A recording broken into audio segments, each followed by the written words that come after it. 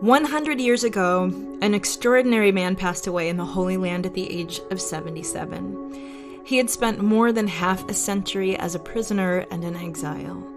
But on his release, and despite his advanced age, his health impaired by decades of imprisonment, he set off on a journey to spread a message of peace, unity, and hope to the world. His name was Abdul Baha. I could see the radiance of this man who was to make such an impression on all our lives. You see such power latent within that person. I never in all my life heard a voice like that. It was vibrant and ringing. I'm Rainn Wilson. And I'm Parisa Fitz-Henley. And in this series of podcasts, we'll be finding out about this unique figure in human history, celebrating his life and legacy and the enduring influence he has had on people around the world ever since. When he left the house, the sun disappeared, but that kind of sunshine never leaves one's heart. Through his public talks, his writings, his love and service to all who crossed his path, Abdul Baha offered a pattern of right living to all people for all time. He was, in every sense of the word, an ambassador to humanity.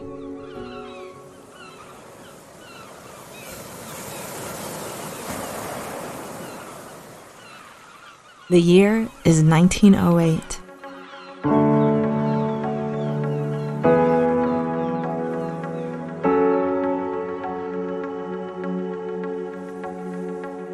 Young Turks Revolution results in the release of all political and religious prisoners of the Ottoman Empire. Abdul Baha is now free for the first time since he was eight years old. Now, in his seventh decade, he immediately sets about planning to personally take Baha'u'llah's teachings to other parts of the world, particularly North America. Historian Moojan Momen he had wanted to travel, and when American Baha'is started to come to Akka, he saw for himself firsthand the potential in the American Baha'i community to advance the Baha'i faith. And so he saw the need to go to America himself in order to make it clear to the American Baha'is the Baha'i teachings, the global vision of the Baha'is, all these things he could impart much more effectively if he traveled to America. He was obviously trying to do that with the American Baha'is who came to Akka, but they were just a handful compared to the thousands of Americans who had become close to the Baha'i faith in America itself. So it would be much more effective if he went there and did that. And also he had invitations from institutions and groups in America to come and speak to them on subjects such as peace. He obviously wanted to respond to that as well.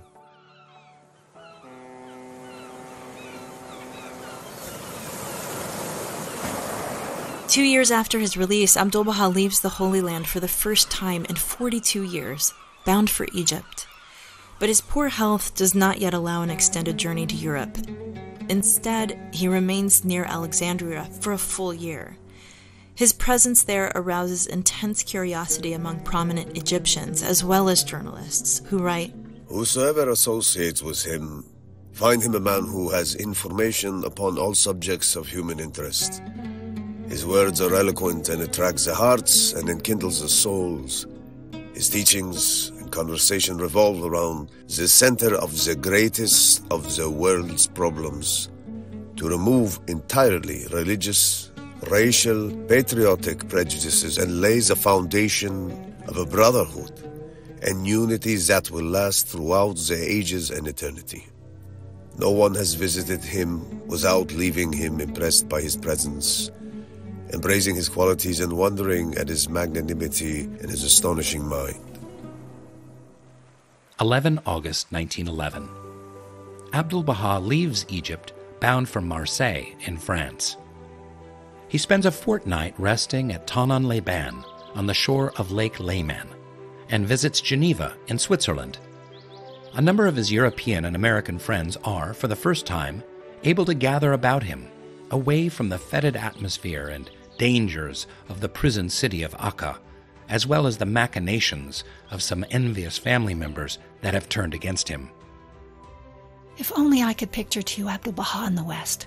Abdul Baha with the power of his peace in the restless West.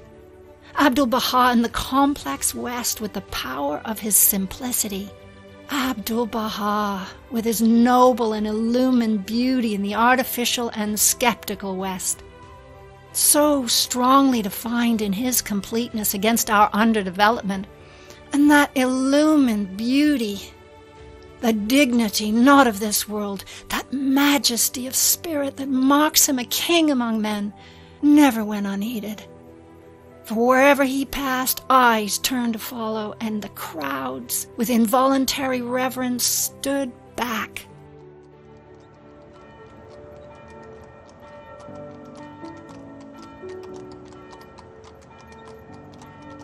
The 10th of September 1911, Abdul Baha gives a public address for the first time in his life. More than 2,000 people gather at London's City Temple to hear him say, The gift of God to this enlightened age is the knowledge of the oneness of mankind and of fundamental oneness of religion. War shall cease between nations, and by the aid of God the most great peace shall come. The world will be seen as a new world, and all men will live as brothers. There is one God, mankind is one, the foundations of religion are one. Abdul Baha's month long stay in England is filled with ceaseless activity and countless conversations, providing answers to people's questions and insights into many contemporary issues. His two visits to London, 1911 and 1913, remain a source of inspiration for people in London today, like Lesley Taherzadeh O'Mara. Having been living in the Holy Land for a time, spending a lot of time in the holy places and places where Abdu'l Baha was. And it was just so natural there to think, yes, Abdu'l Baha walked these streets. There are places in Akka where you know it's still the same cobblestones that were there. His feet touched these stones. And then in London, to think he was actually here in London. And I still find myself doing that. And then I try to imagine what he must have looked like to the people around and how that must have been so striking to see him draw up at the door of Lady Blomfield's apartment building and just sweep up the stairs in his robes. How that must have struck people at that time and so wonderful for us. And I find it so inspiring to think that Abdu'l Baha came here and visited so many places in London, well over 30 places that he actually went and gave addresses and nurtured people and loved people and met people and is very, very inspiring. And I think gives me heart to do what I can do in some small way to emulate his life of service. The activities of Abdu'l Baha in London followed by Paris, France, set a pattern that he will follow throughout all his travels for the next two years.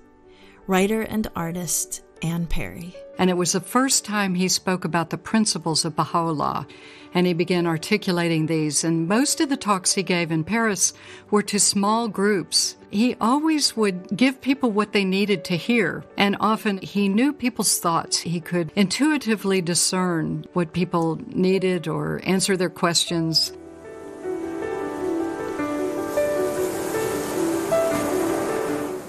After wintering again in Egypt, Abdu'l Baha gathers his strength to sail to the United States of America, arriving in New York on the 11th of April, 1912. For the next 239 days, talks are given to packed auditoriums, private audiences are granted, and Abdu'l Baha's personality and presentations are extensively reported in newspapers from coast to coast. He is received enthusiastically by every stratum of society. Michael Day is a journalist from Australia. He gave these talks night after night without any notes. So one night he would give a talk, and the next night he would give a talk. He'd give a talk during the day. And when you look at them now from these days, they're absolutely logical. On highly complex issues and topics. It's just unbelievable that somebody could deliver so many talks on different topics tuned to different audiences. And it's so relevant to today. It's as if he could deliver talks that would be relevant for all time. Abdu'l Baha is not the first spiritually enlightened teacher from the East to travel to America, but there is a difference to his mission. Robert Stockman is the author of Abdu'l Baha in America. Vivekananda and the other Eastern Buddhist and Hindu teachers who came to the United States, mostly in the 1890s and sometimes in the first decade of the 20th century, they were coming for several reasons. One was certainly to proclaim the validity of their religions to a country that was basically saying Christianity is a superior faith and all the other religions aren't even legitimate religions. They're just simply human efforts to understand the divine that are a preparation for Christ.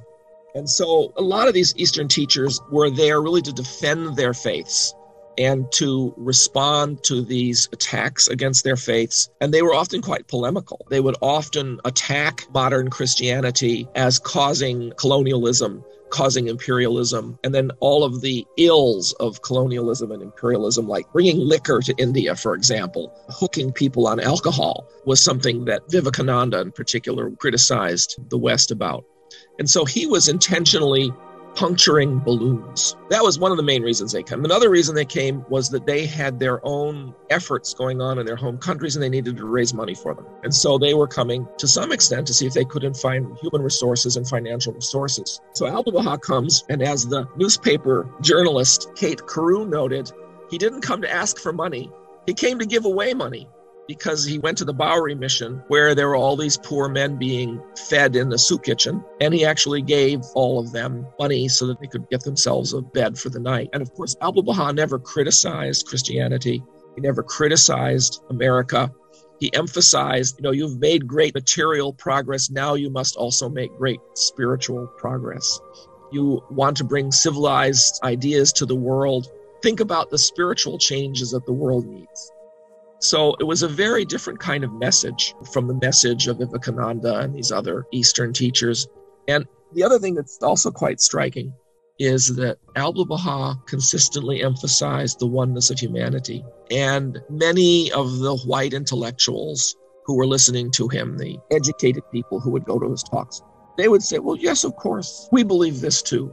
And one time, Abdu'l Baha was introduced at a gathering in Boston, and the host who introduced him said, You know, the thing that's great about Abdu'l Baha is he teaches the same things we teach. Isn't it amazing that someone from Iran would teach the same things we teach? Well, none of them were going to try and encourage their children to marry the black washerwoman or the seamstress who was taking care of a lot of the domestic tasks around their house. They all knew black people mostly as servants, and they believed in the so called brotherhood of man, but it wasn't necessarily an equal brotherhood either. Abdu'l Baha comes to America and he's teaching the oneness of humanity. And to these white audiences, he's very polite, but then to the Baha'is, he's emphasizing interracial marriage. Everyone recognized that he was very wise, he was very just, compassionate, loving. Historian Kathryn Jewett Hogensen. And people had also many mystical experiences. He usually knew what they were thinking. They didn't have to even ask him questions, he would answer anyway. So that always amazed people. It also amazed, particularly the Westerners, that he knew so much. Here is a man who had no real formal education other than what tutors his family provided when he was a young child and then was a prisoner from the time he was about 10 years old. His family had lost everything, they were in exile. He had no opportunity for formal schooling. And then he's living in a backwater, Acre, Israel. You couldn't just go down to the corner drugstore and buy a New York Times. And yet he knew what was going on in the world and he understood it at a deep level. And that always flabbergasted the people he met in the West. But the biggest thing was he had always the ability to touch hearts even people who were not adherent to the Baha'i faith. You hear this a lot about family members, husbands, for example, in particular, because often it was the women of the family who were very involved, as they usually are in churches and other religious groups. And even if the husband was hostile, once they met the master, their hearts changed. They liked him. So, with everyone he met, he had an ability to understand where they were and meet them at that level. Abdu'l Baha's manner melts even the most hard nosed of journalists. Kate Carew is a newspaper columnist and caricaturist. No prominent personality of the day escapes her sharp tongue and sarcasm, but even she finds herself won over by Abdu'l Baha's generosity of spirit. As scholar Stephen Phelps explains, Kate Carew, who I think hands down has the very best interview with Abdu'l Baha.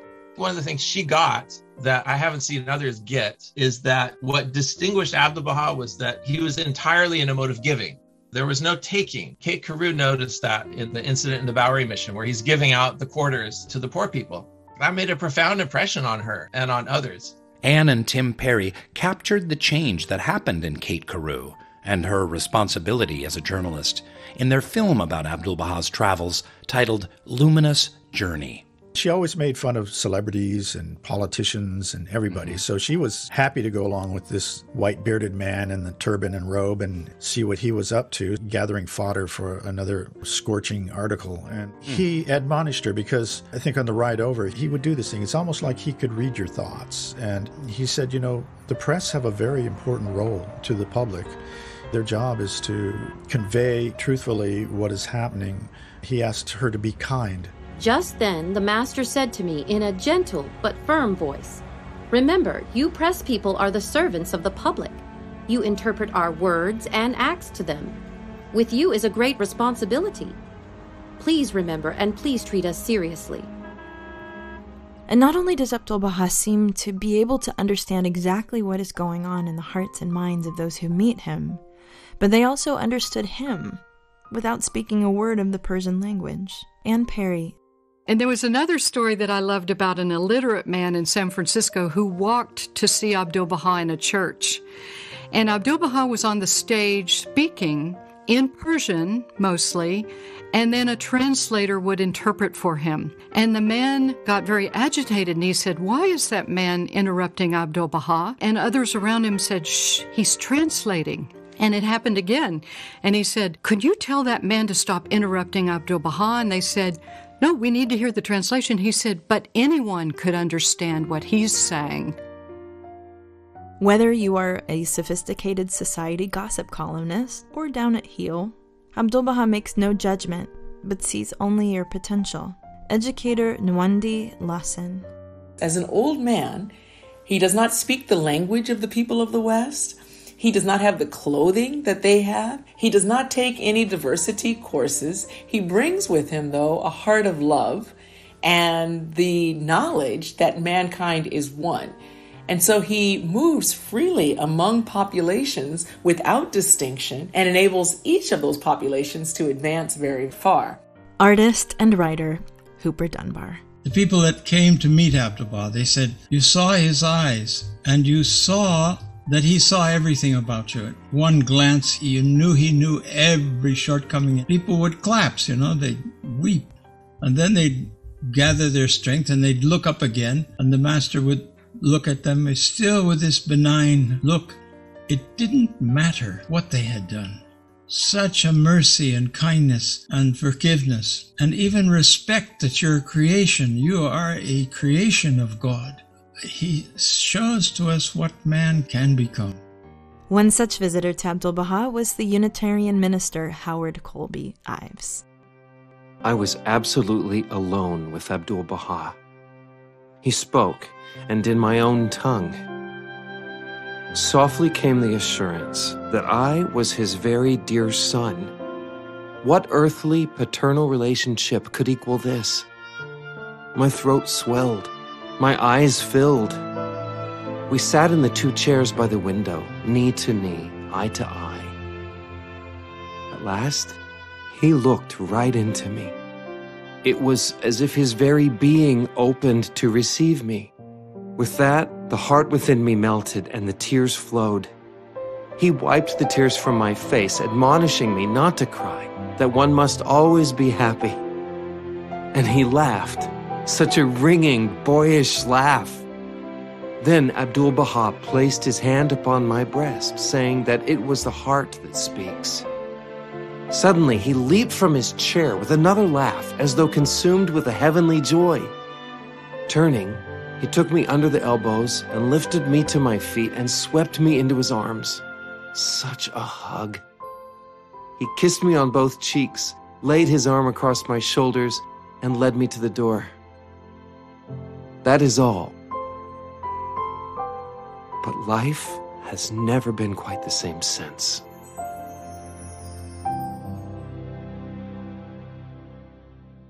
Among those most touched by Abdul Baha's presence in their midst are children, to whom he shows a special measure of attention and love.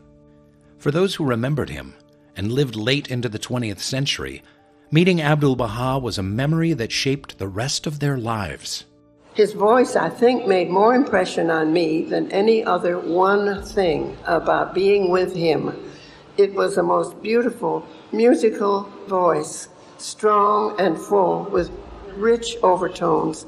And I remember thinking on that last evening, if I could just carry the feeling, the memory of that voice in my mind for the rest of my life, I would be happy. When it was my turn, there was a group there, and he motioned me forward, put his arm around me, kissed me on the forehead.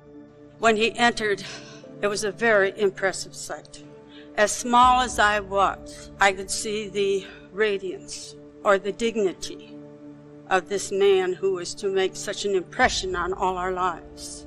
I had received some of the spirit that he always gave forth is something that I would treasure forever.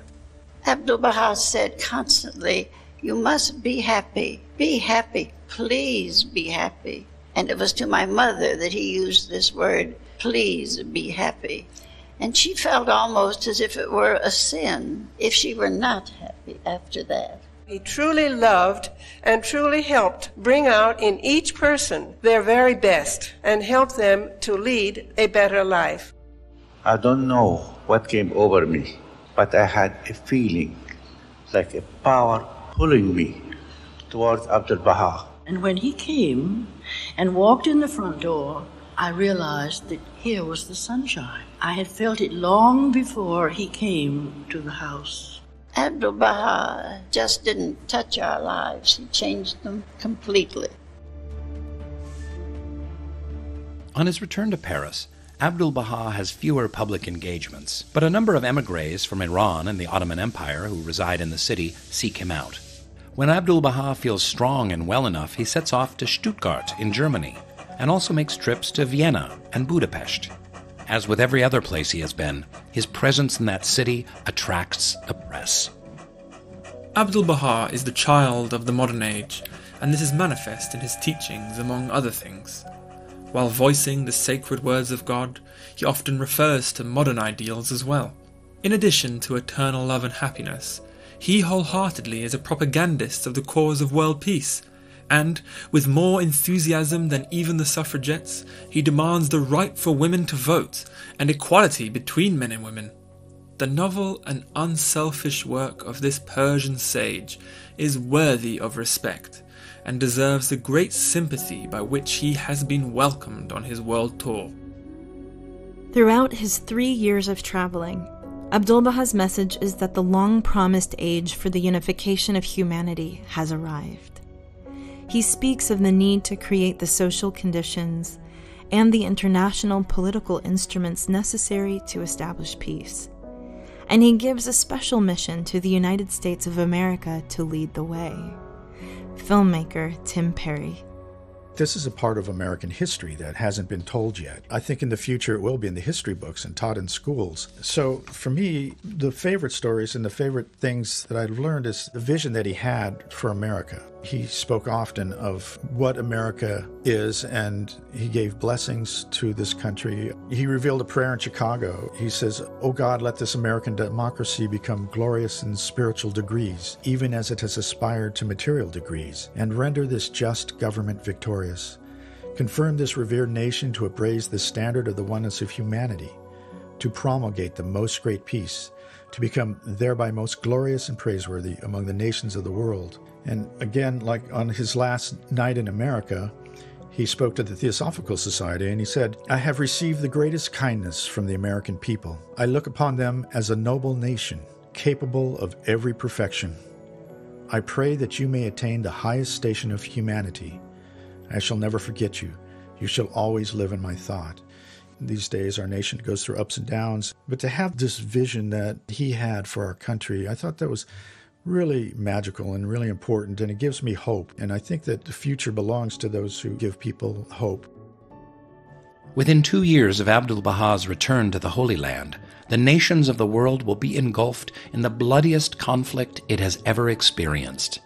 But Abdul Baha, during his travels, has set in motion a conversation on the prerequisites for peace that require the active commitment of every human being. One of them the elimination of racial prejudice, will be explored in our next podcast.